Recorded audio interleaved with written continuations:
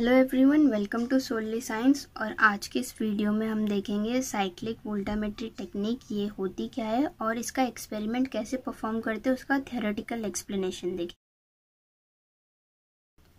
तो सबसे पहले एम ऑफ़ द एक्सपेरिमेंट जो हमारा एम है, वो है साइक्लिक वोल्टामेट्री क्या है, इस टेक्निक को स्टडी करना और second is to determine the electrochemical properties of the analyte जो भी हमारा एनालाइट है, उसकी जो भी प्रॉपर्टीज़ होती है वोल्टेज वैल्यू करंट वैल्यूज़ ये सब हम फाइंड करेंगे।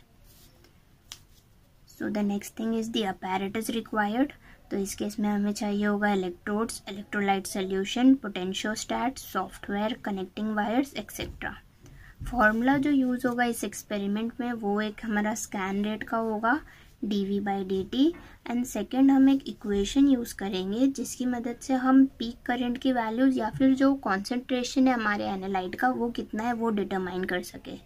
तो ये जो फॉर्मूला है, ये ये ऐसा है I P is equal to zero point four four six three N F A C under root of N F V D by R T तो ये जो सारे कॉम्प्लिकेटेड टर्म्स है, इसे हम देख लेते हैं। सबसे पहले आई पी हमारा पीक करंट है। एन जो है वो हमारा नंबर ऑफ़ इलेक्ट्रॉन्स है.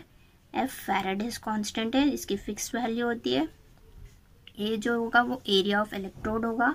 सी हमारा charge in coulomb V is the scan for potential sweep D diffusion को coefficient R is the gas constant and T is the absolute temperature in kelvin तो ये तो हो गया एम अपैरेटस और formula अब देखते हैं साइक्लिक वोल्टामेट्रिक टेक्निक ये है क्या एक्चुअली में.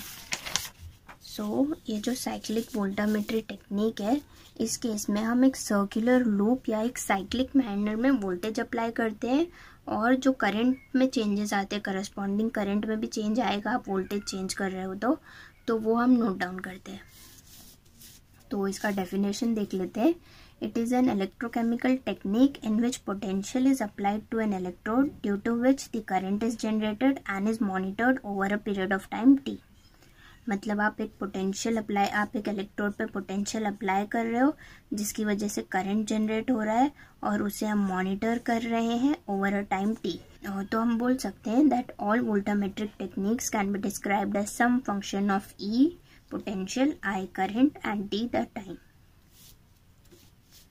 so, here, in CV is performed by cycling the potential and noting down the corresponding changes in the current. ये तो हो गई डेफिनेशन साइक्लिक वोल्टामेट्री की। अब देखते हैं एक्सपेरिमेंटल सेटअप तो इसके लिए हमें एक पोटेंशियोस्टैट चाहिए था इलेक्ट्रोड्स चाहिए थे electrochemical solution then software and वो सब चाहिए होता है। तो बेसिकली हमारे पास तीन इलेक्ट्रोड्स होते हैं इस केस में। Working electrode reference electrode and counter electrode जिसे हम ऑक्सिलरी इलेक्ट्रोड भी कहते हैं। तो वर्किंग इलेक्ट्रोड हमारा गोल्ड इलेक्ट्रोड होता है and reference is silver silver chloride and counter electrode usually platinum electrode लिया जाता है। और ये हमारा सेल है, जिसमें हमारा सोल्यूशन है, जिसकी हमें इलेक्ट्रोकेमिकल प्रॉपर्टीज़ को फाइंड करना है। तो हम पोटेंशियल अप्लाई करते हैं देन रिडक्शन एंड ऑक्सीडेशन ये दोनों रिएक्शन होते हैं यहाँ पे। और ये दोनों रिएक्शन की वजह से हमें जो हम सॉफ्टवेयर यूज़ कर रहे हैं तो कंप्यूटर स्क्रीन पे उसकी मदद से हमें ग्राफ मिलता है पोटेंशियल वर्सेस करंट का। हम स्कैन रेट सेट करेंगे मतलब हमें पोटेंशियल कितने रेट से चेंज करना है वो सेट करेंगे। कितने साइकिल्स चाहिए हमें वो सेट कर देंगे। Increasing voltage value decreasing voltage values ये सब चीज़ें हम पहले सेट करेंगे देन हम ऑन कर देंगे। And then after some times we will get a graph on a computer screen and by that graph we will find all the required information तो अब ये एक्सपेरिमेंटल सेटअप आपको अगर समझ आ गया तो अब हम देखते हैं ऑब्जर्वेशन टेबल में हम क्या लिखेंगे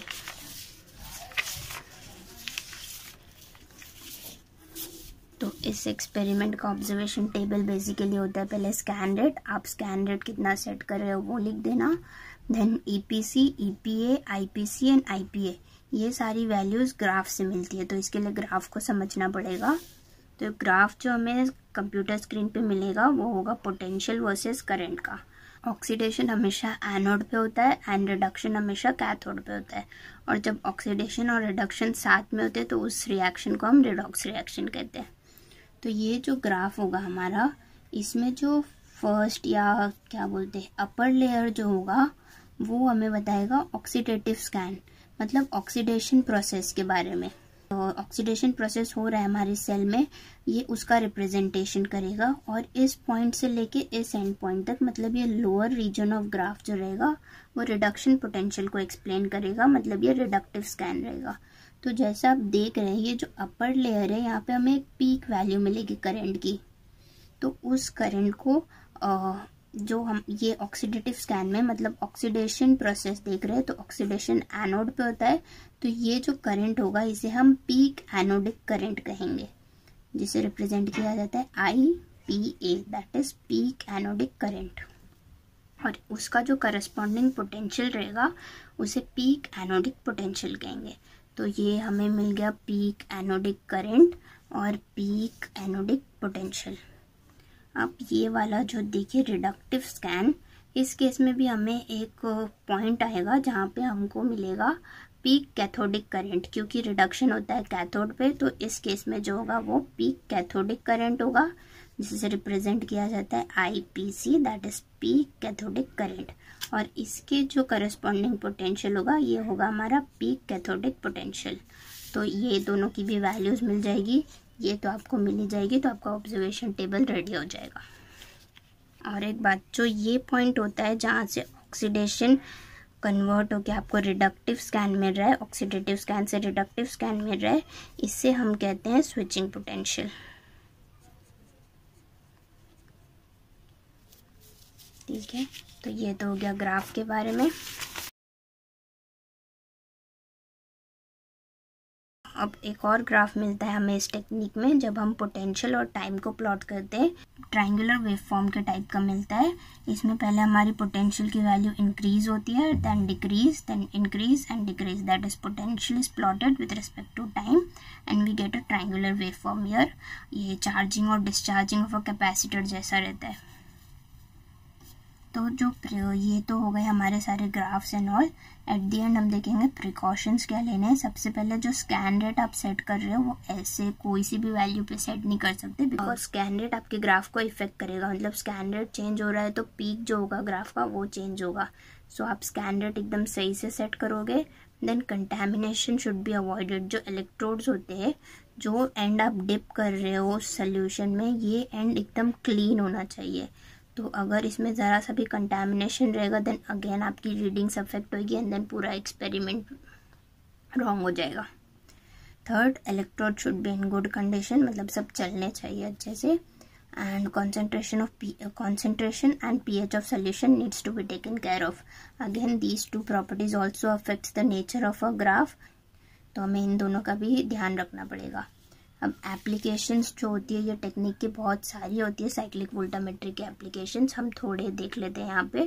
First is to understand the redox reaction redox reaction कैसे होता है और रिडक्शन एंड ऑक्सीडेशन प्रोसेसेस ये सब स्टडी करने के लिए यूज़ होता है।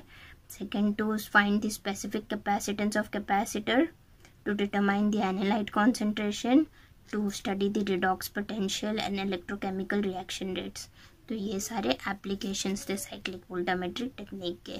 So this was all about this video अगर अच्छा लगा हो वीडियो आपको तो आप सब्सक्राइब ज़रूर कर देना। And thank you so much for watching